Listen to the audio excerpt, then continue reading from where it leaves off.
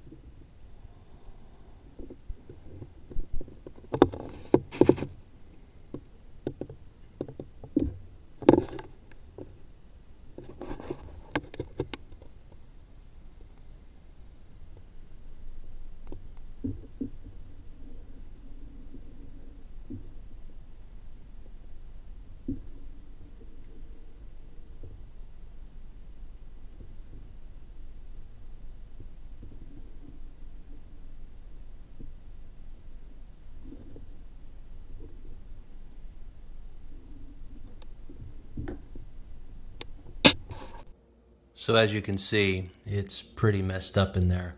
And I don't know how well I can get a picture of that, but that long chain of rust has actually eaten through the metal part of the tank. And no matter how well I try to zoom in on it, it's got a little bit of light, but it's in bad shape.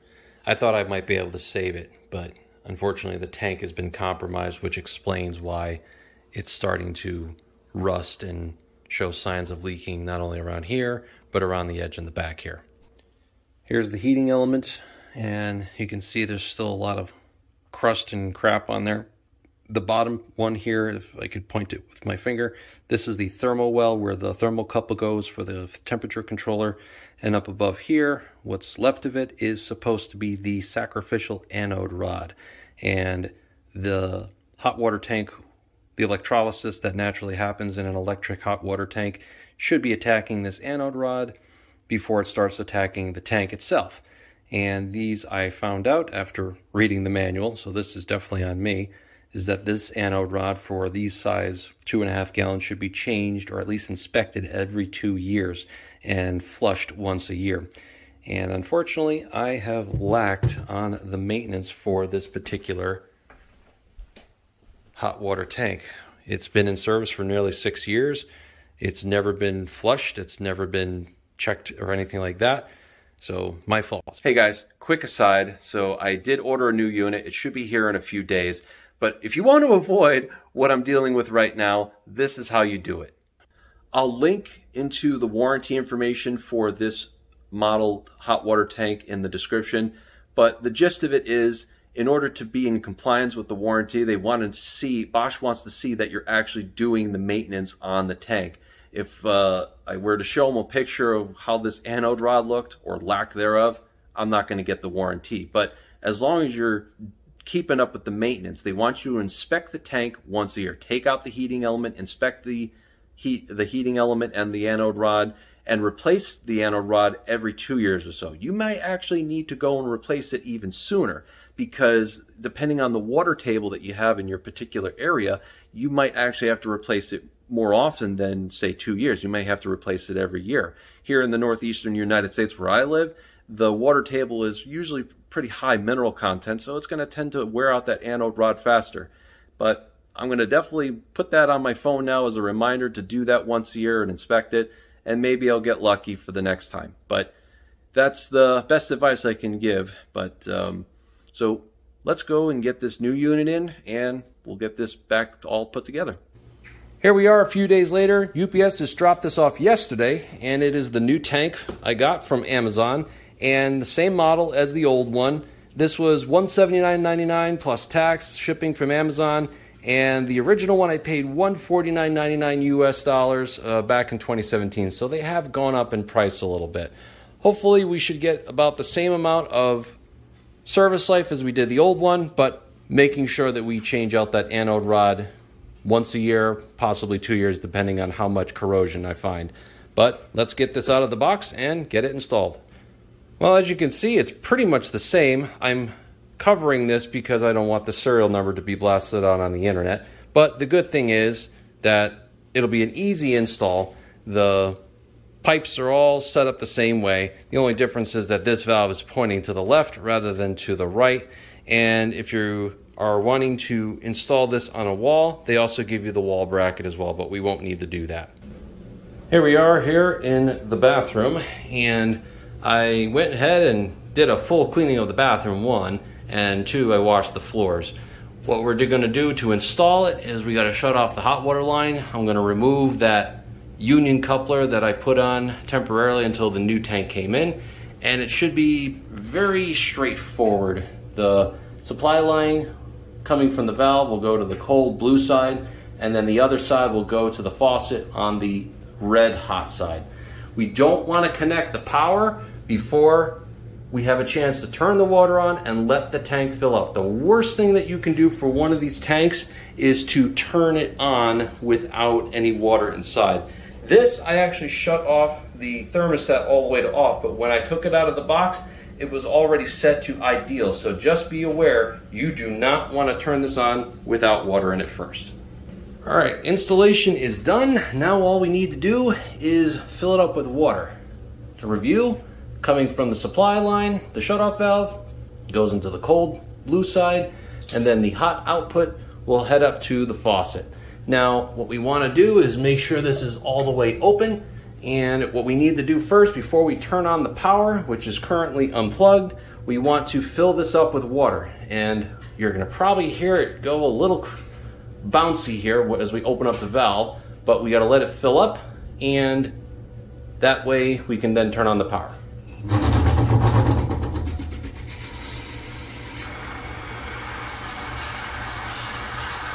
Two and a half gallons, so it's going to take a little bit. You're going to feel the air coming out of here. Now I would suggest removing the aerator, but I know there's no sediment and anything inside this new tank. So we're gonna let this fill up and then we should get some water coming out of here.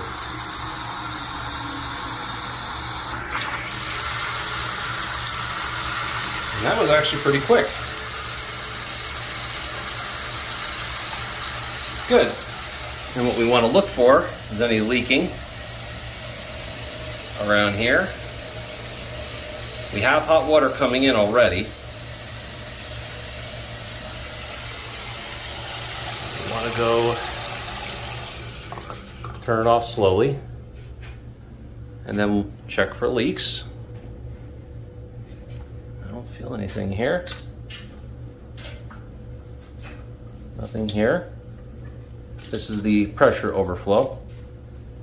All right, now we're gonna go and turn it on. Now, this does have hot water in it from the line. I usually set this to ideal. The light's not on because it's already hot water inside, but if I really wanted to get it hot, then the light would turn on.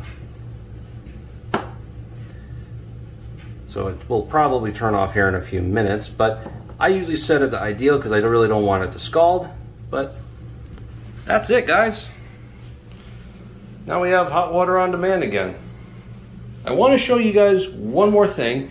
Before I installed it, I did take my Teslong inspection camera and I wanted to check out the inside. And what we're gonna do is we're gonna come back in six months to, or in thereabouts, to see how well the inside of the tank looks. Because I am gonna go and be flushing this out at least once a year.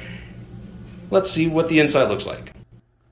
Here is the picture that I took with the Teslong inspection camera you can see a brand new heating element here, and then you can see the thermal well right below it, and then right above it is the sacrificial anode rod. And this is the rod that I'm going to need to purchase a few extra because this is what is going to protect the tank from eroding away too quickly. And then the second picture that I took here, it's maybe not the best here, but you could see the seam uh, for where the two sides of the tank meet. And the inside, when I had a chance to look at it on the screen, at least I don't know how well this picture is coming out, but you could see it's a, a shiny inside, which I believe is just a coating. There's a glass liner on the inside of the tank, and then the outside of the tank is just regular steel. And then eventually, as time goes on, the metal will corrode out and start to leak. So that's what you want to prevent with the replacement of that anode rod. I'll send this link down in the description below, but this is the anode rod replacement. It's $12.63 at the time of recording this video, plus shipping. Shipping would probably be about 7 or $8, but you could get a couple of these and keep it on hand. That way, when you flush out the tank once a year, you should be able to inspect it, make sure that it's not too overly corroded, and just simply replace it. Hopefully, that should prevent this failing within six years. I mean, I got lucky. to be honest, I'm surprised that, that this thing didn't fail sooner. But hey, you know, I'll take it and learn from the mistake. I'm going to end the video here, guys. Thank you so much for watching and supporting the channel. Till the next project.